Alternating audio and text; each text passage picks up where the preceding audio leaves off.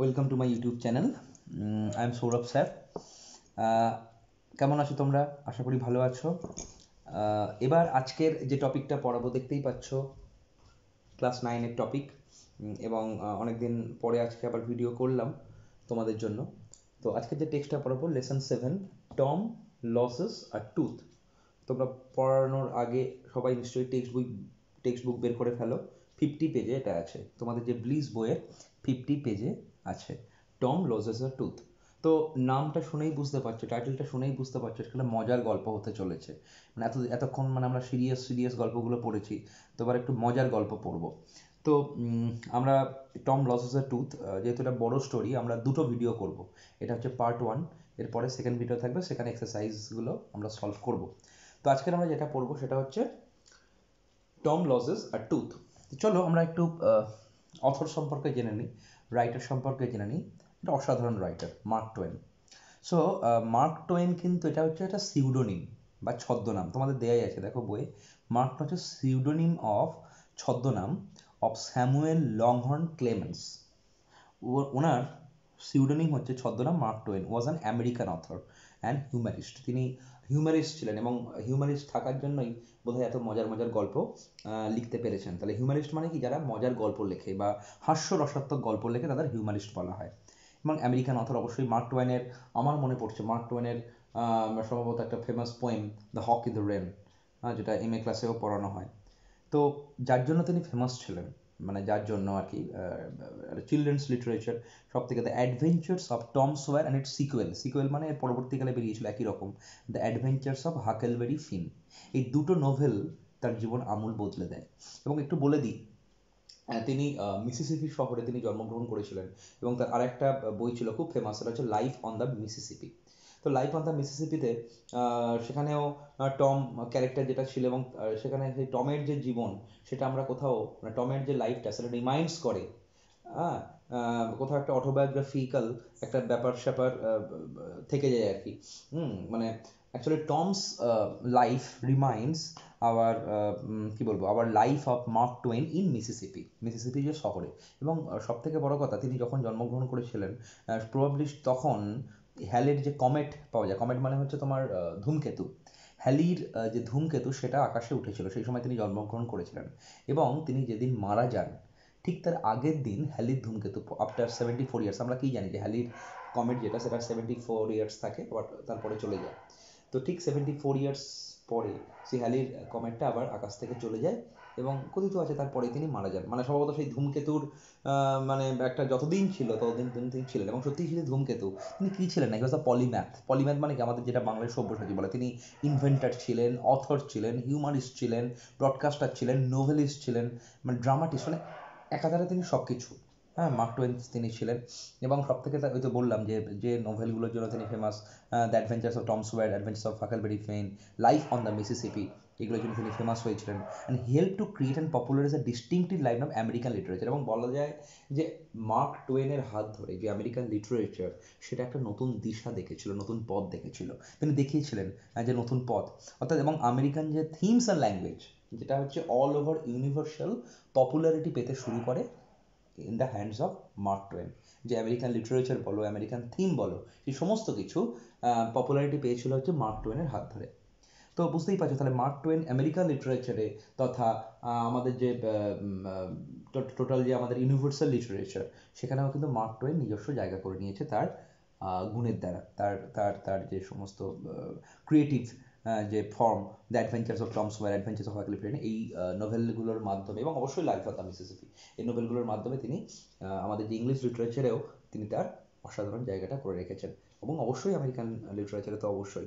এবং আমরা এখানে যে স্টোরিটা পড়ব, বুঝতেই পারছ, এখানে হচ্ছে দ্য অ্যাডভেঞ্চার্স অফ টম সোয়ার মনে রাখবে, এই Mark টোয়েন্সের novel the adventures of Tom Sawyer এখান থেকে কিন্তু এক্সট্রাক্ট নেওয়া হয়েছে। এটা কিন্তু কোয়েশ্চেনে আসতে পারে। এটা কিন্তু সিন যখন থাকবে, তখন কিন্তু নাও আসতে পারে। তাহলে কোথা থেকে সেই এক্সট্রাক্টটা নেওয়া হয়েছে? আমাদের টম লজেস আর টুথ দাঁত হারিয়ে ফেলা। তো সেটা নেওয়া হয়েছে দ্য অ্যাডভেঞ্চার্স অফ টম সোয়ার তো এখানে অ্যাডভেঞ্চার্স অফ টম সোয়ারের গল্পটা টম সোয়ার অ্যাকচুয়ালি মানে আমাদের মতো মানে তোমাদের মতো ক্যারেক্টার মানে আমাদেরই মতো। আমরা যখন ছোটবেলায় ছিলাম চাইল্ডহুডে ছিলাম, ঠিক আমাদের মতো ক্যারেক্টার এবং তার বাবা মা মারা যায়, ছোটবেলায় অরফান হয়ে যায়, এবং সে হচ্ছে আন্ট পলি আন্ট পলির কাছে বড় হয়ে ওঠে। তো আন্ট পলির কাছে বড় হয়ে ওঠা, এবং বুঝতেই পারছ বাবা মা নেই হ্যাঁ এবং আনপলি তাকে এতটাই ভালোবাসতো এতটাই ভালোবাসতো, এবং সেই ভালোবাসার সুযোগ সে নিতে থাকে, এবং একটার পর একটা প্র্যাঙ্কস করে চলে। হ্যাঁ মানে মিষ্টিতে এবং টম সয়ার তো ভীষণ মিস্টিভিয়াস নেচার ছিল তার। হ্যাঁ জন্য বদমাইশ বা দুষ্টু ছিল। সেই মিস্টিভিয়াস নেচারের জন্য আমরা বিভিন্ন মজা পাই এবং এখানেও একটা একরকম মিস্টিভিয়াস নেচারের একটা একটা পার্ট আলোচনা করা হয়েছে ডিসকাশন করা হয়েছে, সেটা আমরা পড়ব। হ্যাঁ এবং এখানে আনপলি কী হয়? আনপলি এতটাই ভালোবাসার ফলে সে সুযোগ নিতে নিতে নিতে একটা সময় বদমাইশি প্রচণ্ড হারে করতে থাকে আর কি। এবং সেই প্র্যাঙ্কসের মাধ্যমে আমরা আনন্দ পাই যে সে কতটা বদমাশ হতে পারে। এবং আমরা প্রবাবলি ছোটোবেলায় প্রত্যেকে তোমরা এখনও আছো বা জানি না বা আরও ছোটো যখন ছিলে, তখন হয়তো কোনোদিন স্কুলে যেতে ইচ্ছে না করলে তোমরা হয়তো এটা করেছ। মা পেট ব্যথা করছে, মা মাথা ব্যথা করছে, মা চোখ যন্ত্রণা হচ্ছে, মা আঙুল যন্ত্রণা হচ্ছে। হ্যাঁ তো যে রোগগুলো ন্যাচারালি কেউ ধরাও পড়ে না মানে ধরা যায় না। আবার ডাক্তার কোনো ওষুধও দিতে পারে না। তো এমন কিছু সিমটমস আমরা বের করি, এমন কিছু আমরা বাড়িতে ভয় দেখানো শুরু করি। তো ন্যাচারালি বাবা মা কি বলে? থাক বাবা, তোকে যেতে হবে না, তুই বাড়িতেই থাক। তো এটা ন্যাচারালি আমরাও ছোটোবেলায় করেছিলাম। তো টম হচ্ছে ঠিক আমাদেরই মতো। তো টমের স্কুলে যেতে ইচ্ছা হচ্ছে না। মন্ডে মর্নিংস এসে গেছে। সারাদিন রবিবার খেলাধুলা করেছে। তো মন্ডে মর্নিংস এসে গেছে, তার মনটা খারাপ। এর মধ্যে মন্ডে মর্নিংস এসে গেল। কী করে এলো? এই তো সবে শেষ হলো। তো মন্ডে মর্নিংসটা তার কাছে ভীষণ মিজারেবল হয়ে ওঠে, ভীষণ দুর্বিষয় ওঠে, দুর্বিষহ হয়ে ওঠে যে মন্ডে মর্নিংসটা এসে গেল। তো সে প্ল্যান করতে থাকে যে কী করে সে স্কুলে যাবে না। সে একটার পর একটা প্ল্যান করতে থাকে। প্রথমে মনে করল যে পেটে ব্যথা করব, তারপরে বলল দাঁত ব্যথা করব। তো দাঁতটা আমার নড়ছে হ্যাঁ দাঁতটা উঠে যাবে। তো এটা আবার আনপলিকে বললে কী হবে? আনপলি সেটা তোলার চেষ্টা করবে। তাহলে তোলার চেষ্টা করলে আমাকে লাগবে। আমার লাগলে তো হবে না। তো সেই জন্য কী করে? সে যাতে আমার লাগবে না, অর্থাৎ মানে সাপও মরে অথবা লাঠিও ভাঙবে না। এমন কিছু প্র্যাঙ্ক সে বের করে, কেমন কিছু প্ল্যান আঁকতে শুরু করে। তো তখন তার মনে হয় যে আমার পা আঙুলটা হচ্ছে এ হয়ে গেছে, পায়ের আঙুলটা খুব ব্যথা করছে। তো পায়ের আঙুলটা সম্ভবত সে কোথাও শুনেছিল, পায়ের আঙুলটা খসে যায় ব্যথা হলে। তো অরিজিনাল তো সিমটম জানতো না, সে কোনো ডাক্তারের কাছ থেকে শুনেছিল। তো এটা নিয়ে সে হচ্ছে অভিনয় করে এবং আলটিমেটলি তার অভিনয় আনপলির কাছে ধরা পড়ে যায়। আনপলি আলটিমেটলি তার শাস্তিটা কী হিসাবে দেয়? দাঁত নড়ে যাওয়া।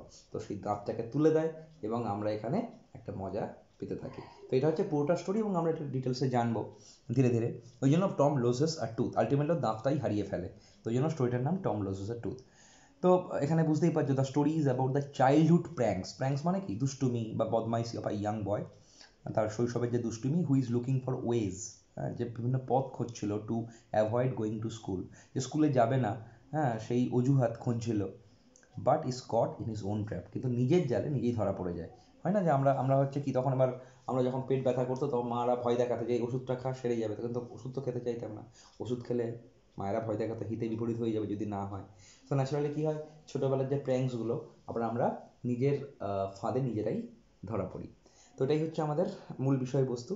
তো চলো, তোমরা সবাই নিশ্চয়, নিশ্চয়ই টেক্সটটা খুলেছো, তাহলে আমরা পড়ানো শুরু করি। দুটো পার্টে পড়াবো। তো চলো ফার্স্ট আমরা তাহলে পড়ানো শুরু করছি ওকে আচ্ছা।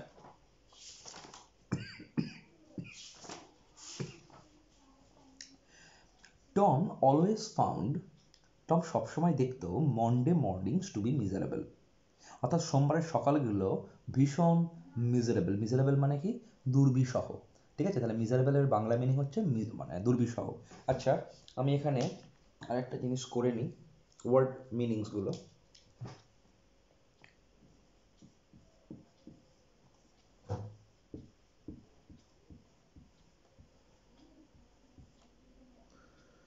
সরি ওয়ার্ডস আর সিনোনিমসগুলো আমি একেবারে লিখে দেবো। ঠিক আছে? তাহলে টম অলওয়েজ ফাউন্ড, টম দেখতে পেতো যে মন্ডে মর্নিংস মানে মন্ডের সকালটা খুবই মিজারেবল ভীষণ দুর্বিষহ। আমাদের কাছে খুবই দুর্বিষহ মনে হয়। আমাদের কাজে যেতে হয়, তোমাদের সারা দিনের পরে, সারা সপ্তাহের পরে রবিবারটা খুব এনজয় করো, আনন্দ করো। দেন আবার মানডেতে তোমাদের স্কুলে যেতে হয়। তো টমও দেখতো যে মানডে মর্নিংসটা ভীষণ দুর্বিষহ। Monday began another week slow suffering school অর্থাৎ সোমবার দিয়ে শুরু হয়, আর একটা সপ্তাহ সেই ধীরে ধীরে ভোগান্তি স্কুলে ঠিক আছে? অর্থাৎ সোমবার থেকে তোমাকে স্যাটারডে পর্যন্ত মানডে থেকে স্যাটারডে পর্যন্ত তোমাকে ক্লাস করতে হবে টানা দিন। তো আবার সেই সোমবার থেকে শুরু হবে আর একটা সপ্তাহ সেই ভোগান্তি তোমার স্কুলের মধ্যে। তাহলে মন্ডে বিজ্ঞান তাহলে সোমবার থেকে শুরু হয় another week slow suffering in school মানে স্কুলের মধ্যে আর একটা সপ্তাহ ধীরে ধীরে ভোগান্তি। সেটা আবার শুরু হবে মন্ডে থেকে। তো সেই জন্য মন্ডে মর্নিংসগুলো খুব মিজারেবল এখান থেকে কোয়েশ্চেন আসতেই পারে। তাহলে মিজারেবল হুম? তাহলে মিজারেবল তাহলে মিজারেবল মানে কি বলব? ভেরি আনহ্যাপি ওকে তো দেখো, এবার টম লে থিঙ্কিং এবার টম শুয়ে শুয়ে ভাবছিল, কি প্ল্যান আটা যায়? প্রেজেন্টলি এখন he wished that he was sick তো এখন সে ইচ্ছে প্রকাশ করল, সে অসুস্থ। Then he could stay home from from school তাহলে মানে সে ভাবলো ইচ্ছা প্রকাশ করল, যদি সে অসুস্থ হতো, তাহলে সে স্কুল থেকে বাড়িতে থাকতে পারতো। তাহলে স্কুলে যেতে হতো না। হি ইনভেস্টিগেটেড হিজ বডি মানে সে তার সারা বডিটা খুঁজে খুঁজে দেখছে, কোথায় তার বডি কোথায় মানে প্রবলেম হচ্ছে? এমনি তো হচ্ছে না, কিন্তু খুঁজে খুঁজে বের করতে হবে। So he investigated his body সে তার শরীরটা কী করল? পরীক্ষা নিরীক্ষা চালালো উইথ দ্য হোপ আশা নিয়ে অফ ফাইন্ডিং সাম এলমেন্ট তাহলে এলমেন্ট মানে কি? ইলনেস অসুস্থতা। তাহলে কোনো কিছু অসুস্থতা খোঁজার আশা নিয়ে তার শরীরটাতে কী করল? সে পরীক্ষা নিরীক্ষা চালালো, দেখি কোনো অসুস্থতা খুঁজে পাওয়া যায় কিনা। তাহলে with the hope of finding some element কোনো অসুস্থতা খুঁজে পাওয়ার আশায়। হি থট দ্যাট সে ভাবলো he had found symptoms of stomach travel তো সে ভাবলো, সে হচ্ছে স্টোমাক ট্রাভেলের মানে পেটে ব্যথার কিছু ইন্ডিকেশনস সিমটমস মানে কি? উপসর্গ। ঠিক আছে? সিমটমস মানে তাহলে কি? দরকার লিখে নেবে। বেঙ্গলি মিনিং যদি অসুবিধা হয়, তাহলে সিমটমস মানে হচ্ছে উপসর্গ। তাহলে সে মানে মনে করল যে সে হয়তো পেটে ব্যথার কিছু উপসর্গ খুঁজে পেয়েছিল। He began to grow hopeful অর্থাৎ সে মনে মনে আশাবাদী হতে শুরু করল, বেশ, পেটে ব্যথা একটা ভালো একটা মানে রোগ দেখানো যাবে। হাউএভার যাই হোক দ্য সিমটম সুন গ্রিউ ফিবেল যাই হোক, সেই উপসর্গটা ধীরে ধীরে উইক হয়ে গেল। ফিবেল মানে কি? দুর্বল হয়ে গেল। না, পেটে ব্যথাটা থেমে যাচ্ছে। অ্যান্ড হোললি ওয়েন্ট অ্যাওয়ে এবং পুরোপুরি চলেও গেল। অর্থাৎ পেটে ব্যথাটা সেটা চলেও গেল। যেটুকু বা হচ্ছিল, সেটুকু চলেও গেল। তাহলে এই সিমটমস নিয়ে বা এই এলমেন্ট নিয়ে তো স্কুল কামাই করা যাবে না বা সেটাকে অজুহাত দেখানো যাবে না। ঠিক আছে? তাহলে কি বললাম? তাহলে ইনভেস্টিগেটেড হিজ বডি তার বডিটাকে কী করল? পরীক্ষা করল। তাহলে আমরা এখানে লিখতে পারি ইনভেস্টিগেটেড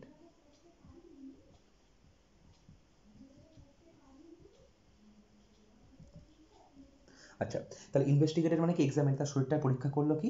উইথ দ্য হোপ আশা নিয়ে of finding some ailment ailment মানে কি? অসুস্থতা। এলমেন্ট মানে অসুস্থতা মানে কোনো অসুস্থতার খোঁজের আশা নিয়ে। তাহলে এলমেন্ট মানে হচ্ছে কি? ইলনেস এলমেন্ট মানে হচ্ছে ইলনেস মানে অসুস্থতা। এবার সে ভাবলো কি? Symptoms of stomach travel symptoms symptoms মানে কি? ইন্ডিকেশনস বা সিমটমস মানে কি বললাম? উপসর্গ। তাহলে সে পেটে ব্যথার উপসর্গ খোঁজা শুরু করল। এবার সে আশাবাদী হলো। এবার যা হোক, সেই সিমটমসটা ধীরে ধীরে উইক হয়ে গেল। ফিবল মানে কি?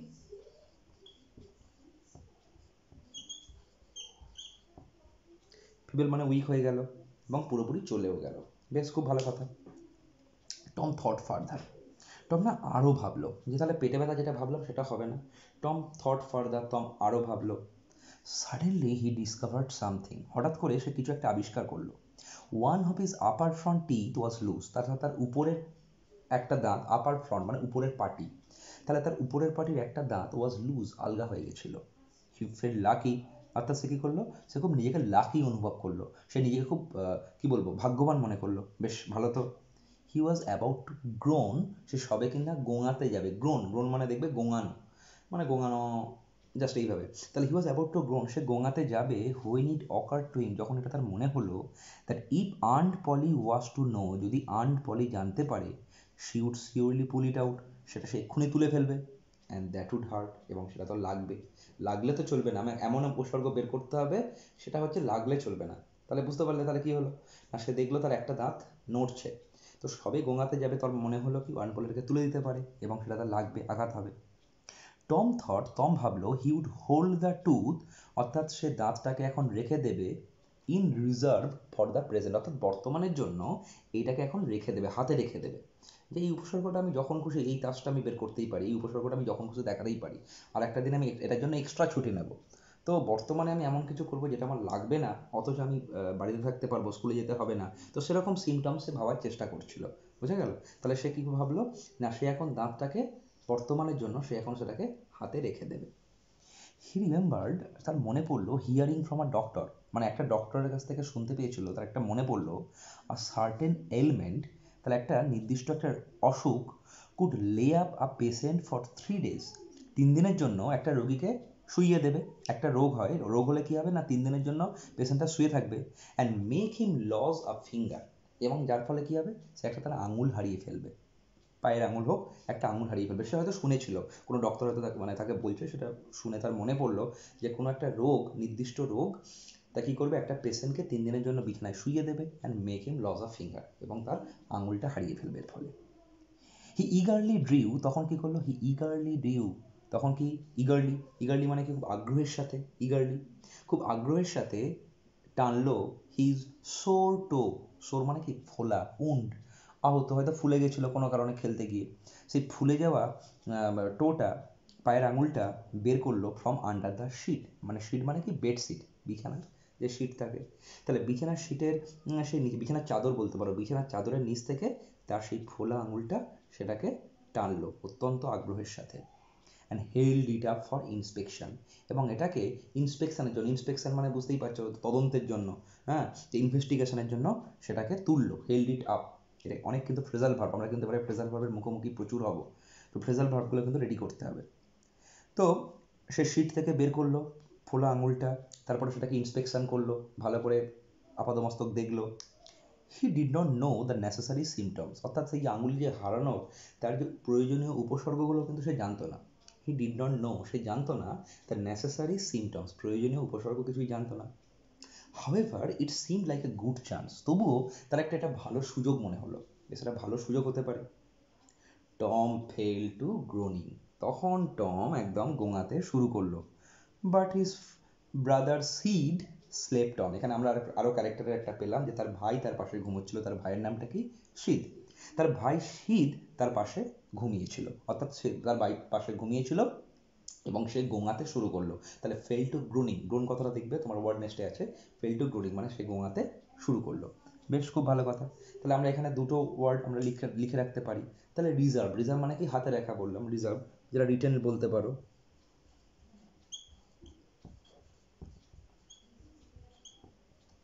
রিজার্ভ মানে রিটেন বলতে পারো। আচ্ছা সোর সোর মানে উন্ড, আহত হ্যাঁ বা আঘাতপ্রাপ্ত হতে পারে। হুম, বা হচ্ছে তোমার সোয়েলিং হ্যাঁ ফোলা, এটাও হতে পারে। এটাও হতে পারে।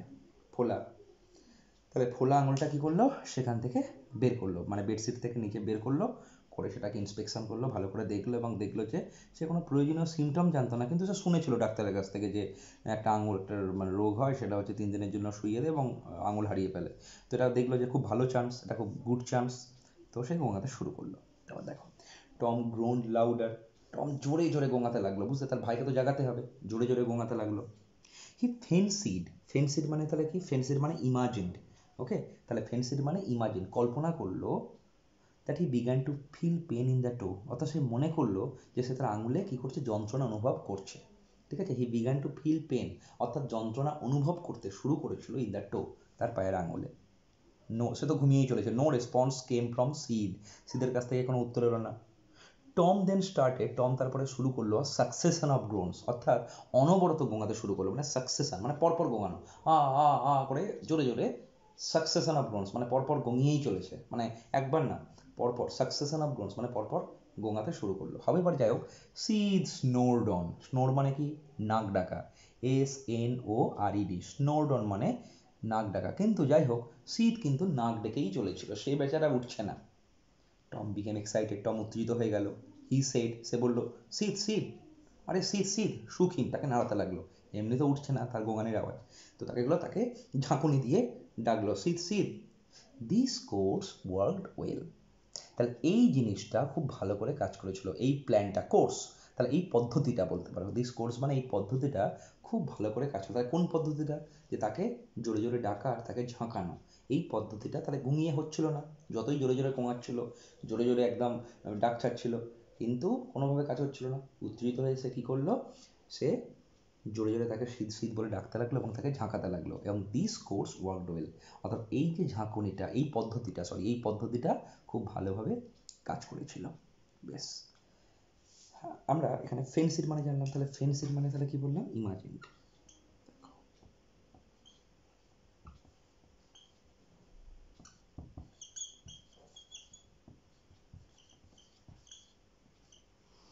টেন্সিটি মানে কি? ইমাজিন মানে কল্পনা করা।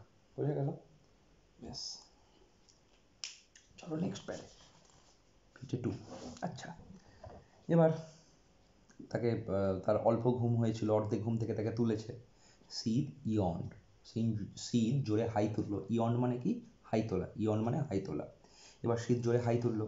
Then raising himself on his elbow ঠিক আমি যেমন বসে আছি এলবো এলবো মানে কনুই। কনুর কনুয়ের ওপরে নিজেকে তুলে। মানে এভাবে শুয়েছিল চিত হয়ে। এবার কনুয়ের ওপর নিজেকে তুলে stared at Tom stared stared মানে টমের দিকে এক দৃষ্টে তাকিয়ে থাকল। ঠিক আছে? টমের দিকে এক দৃষ্টে তাকিয়ে থাকল। বাপরে বাপ। সে হঠাৎ করে মানে আতকাচা ঘুমে উঠেছে। সে টমের দিকে এক দৃষ্টে তাকিয়ে থাকল স্টিয়ার্ড মানে কি? গেজড টমের দিকে এক দৃষ্টে তাকিয়ে থাকল। টম ওয়েন্টন গ্রোনিং টম তো ঘুমিয়েই চলল। ওয়েন্টন মানে কি? চলে যাওয়া মানে কন্টিনিউ ঠিক আছে? এটাও কিন্তু অনেক ফ্রেজাল ভার্ব আছে। তো ওয়েন্টন গ্রোনিং ওয়েন্টন মানে তাহলে কি? কি বললাম? যে ক্যারি অন মানে চালিয়ে যাওয়া। তো সে গ্রনিং করেই চলল। শীত সেট শীত বলল। টম, সেটা মানে টম, কিছু বলো। সে তো অবাক হয়ে গেছে। টম, কিছু বলো। নো রেসপন্স কোনো উত্তর উত্তর এলো না। হিয়ার টম টম আরে Tom Tom what's the matter Tom আরে কি ব্যাপার টম কিছু তো বলো। শীত সুখ হিম শীত তো তাকে নাড়িয়ে যাচ্ছে। একদম, কত ভালো অভিনয় দেখো, সে সারা করছে না। শীত সুখ হিম শীত তাকে নাড়িয়ে যাচ্ছে। And looked in his face anxiously এবং তার মুখের দিকে খুব উদ্বিগ্ন, খুব চিন্তা তাকিয়ে আছে যে বাবরে বাপ, কী হলো? হঠাৎ করে এরকম কাঁদছে কেন? হ্যাঁ অ্যাংসাসলি মানে কি ওয়ার্ল্ডলি খুব চিন্তিত হয়ে তার মুখের দিকে তাকিয়ে আছে। টম মোন্ড আউট টম তো কি করছে? না মানে বিলাপ করে করে বলা। মন মন কথাটা তুমি নিশ্চয়ই জানো যে ক্রাউড না, বিলাপ করা cried out in a long tone তাহলে টম এবার বিলাপ করে বলে উঠল, বিলাপ শুনেছে নিশ্চয়ই। তো টম বিলাপ করে বলে উঠল, ওহ ডোন্ট সিড না সিড ডোন্ট শেক মি আমাকে আর এইভাবে নাড়িও না। Why what's the matter Tom? আরে কি হয়েছে? কি ব্যাপার বলো? আই মাস্ট কলা আন্টি আমাকে এক্ষুনি কাকিমাকে ডাকতে হবে আন্টিকে ডাকতে হবে। নো নেভার মাইন্ড না, কিছু মনে করো না। It will be over by and by maybe এটা হয়তো ধীরে ধীরে সেরেই যাবে। ডোন্ট কল এনিবডি কাউকে ডেকো না। বাট আই মাস্ট কিন্তু আমাকে ডাকতে হবে। ডোন্ট গ্রোন সো এইভাবে ঘুমিও না, এইভাবে কেঁদো না। টম ইটস অফুল অফুল মানে একটা ভয়ানক, মারাত্মক। অফুল মানে কি? ভয়ানক বা মারাত্মক মানে এক্সট্রিমলি ব্যাড বলতে পারো। এটা মারাত্মক, ভয়ানক। How long have you been this way তুমি এইভাবে কতক্ষণ আছো? আওয়ার্স, ঘণ্টার পর ঘণ্টা, ouch! Oh don't stir so এইভাবে আমাকে নাড়িও না। স্টিয়ার স্টিয়ার মানে কি? নাড়ানো shake S H A K stir মানে নাড়ানো। ঠিক আছে? তাহলে, ওহ don't stir so Sid Sid আমাকে এইভাবে নাড়িও না। ইউ উইল কিল মি তুমি তো আমাকে মেরে ফেলবে। আমি এভাবে নাড়াচ্ছ কেন? আমাকে তো মেরে ফেলবে। Tom why don't you wake me sooner? Tom তুমি আমাকে আগে কেন জাগাওনি? ও Tom you are not dying না টম তুমি মরে যাচ্ছ না। আর ইউ তাই না? ডোন্ট টম নো না টম ও ডোন্ট না না, তুমি এরকম করো না। তো তার ভাই ভয় খেয়ে গেছে। সে তো তার ভাই।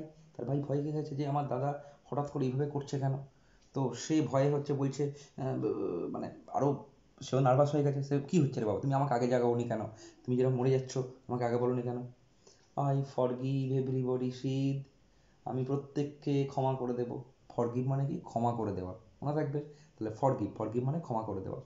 আমি প্রত্যেককে ক্ষমা করে দেবো। সিদ টেল দেম শো, তাদেরকে বলে দিও। তখন তো শীত এবার কোথায় যায়?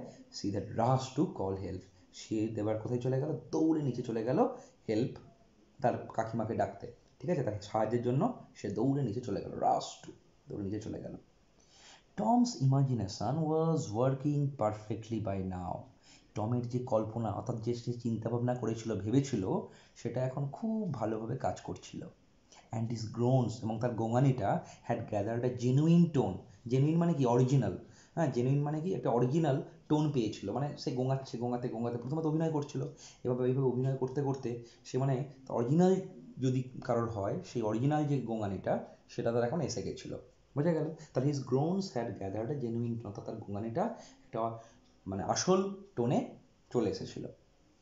মিন হোয়াইল ইতিমধ্যে সিট ফ্লিউ ডাউন স্টেয়ার সুদ একদম উড়ে উড়ে নিচে গেল ডাউন স্টেয়ার্স মানে নিচে, উড়ে উড়ে নিচে গেল। অ্যান্ড সেট বলল, ও আনপলি কাম আনপলি তাড়াতাড়ি এসো টম ইজ ডাইং টম মারা যাচ্ছে ডাইং মারা যাচ্ছে yes don't wait come back come quick আরে না না, অপেক্ষা করো না, তুমি তাড়াতাড়ি এসো হোয়াট রাবিস কি বোকা বোকা কথা বলছো আই ডোন্ট বিলিভ ইট আমি বিশ্বাস করি না।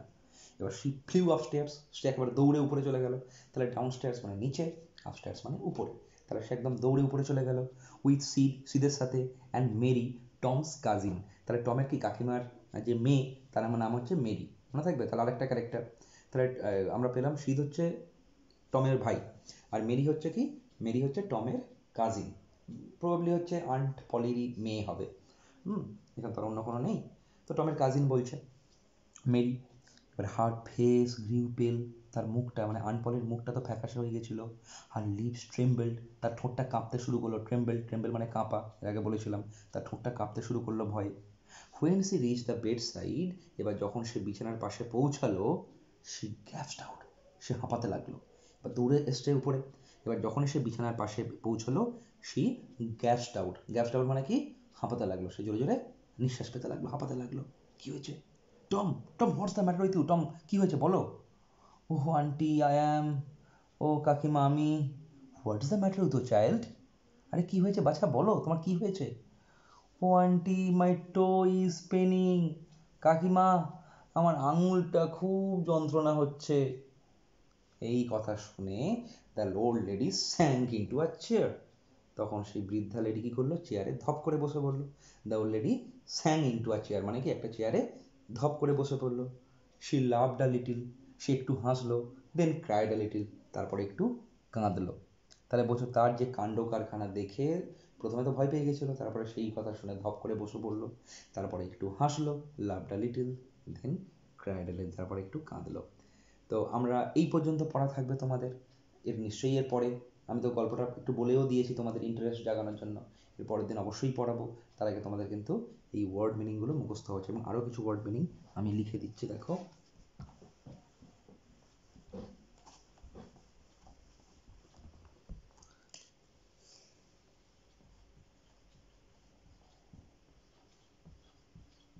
তাহলে কি বললাম? স্টিয়ার মানে গেজড মানে একদৃষ্টে তাকিয়ে থাকা।